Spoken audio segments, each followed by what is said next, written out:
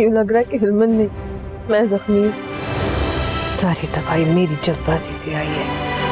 अगर इस हमले के पीछे मैं खड़ा होता तो तुम इस वक्त यहाँ ना खड़े होते। पक्का बंदोबस्त करता मैं तुम्हारा। जैसे मेरे बाप का किया था। की बार उसकी बारी है। आखिरी जंग की तैयारी। संगे माँ आज शब आठ बजे। Bye.